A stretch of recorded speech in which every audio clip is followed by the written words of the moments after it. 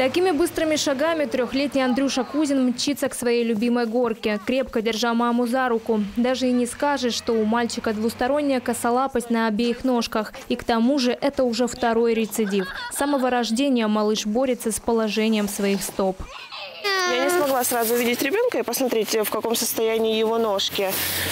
А, Я увидела фотографию примерно через неделю. Мне показал муж. И там был, ну, очень страшно было. После рождения лечить ножки Андрея начали в родном Кореновске. Стопы удалось выправить, но через 4 месяца после гипсования произошел первый рецидив. Ходить мальчик стал только в полтора года после очередного удачного лечения. Аккуратно. Андрюш, ножку подвернешь. О рецидивах врачи предупреждали Кузиных. Вернуться в свое исходное, хоть и неправильное положение после всех процедур стопы могут даже во взрослом возрасте. Ножки у него, если вот у обычного человека вот так вот ровная стопа, а у него они вот так вот поворачиваются и закручиваются вовнутрь. Очень больно. Во-первых, э, ножки очень сильно отекают.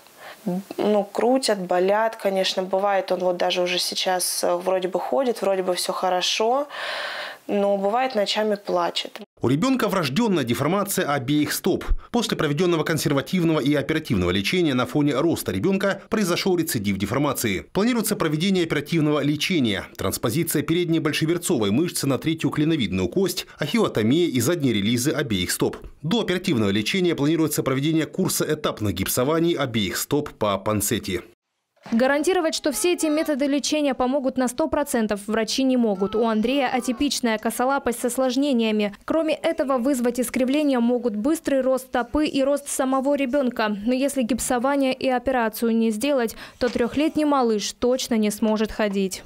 Очень э, хочется, чтобы наконец-то ему сделали операцию, и он забыл об этом надолго. И чтобы он больше не вспоминал об этом, чтобы он это даже не помнил, чтобы у него это не отложилось э, в голове. И помочь исполнить мечту семьи Кузиных можем все мы. Стоимость оперативного лечения почти 370 тысяч рублей. Таких денег у семьи нет. Для помощи Андрюше можно отправить на короткий номер 5542 смс-сообщение со словом «Дети». Вы можете перечислить любую сумму от 10 рублей до 15 тысяч. Для этого напишите ее через пробел со словом «Дети», например, «Дети тысяча».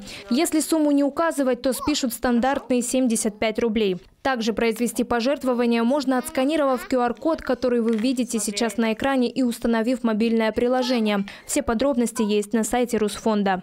Алиса Дмитренко, Константин Попов. Вести.